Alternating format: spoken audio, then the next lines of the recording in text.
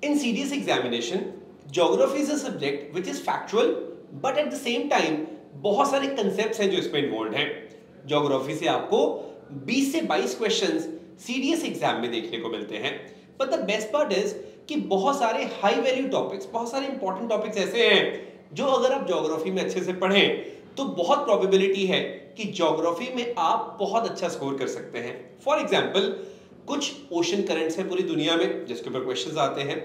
हो सकता है करंट बेस्ड कोई वॉल्केनिक इरप्शन हुआ हो, कहीं पे अर्थक्वेक आया हो, जिसके रिलेटेड टेक्टोनिक प्लेट्स के क्वेश्चंस आपसे पूछे जाए। क्वेश्चंस आते हैं based on national parks biosphere reserves wildlife sanctuaries rivers जो कि ना सिर्फ़ इंडिया में है, बल्कि इंटरनेशनल लेवल पे भी फ़ेमस है।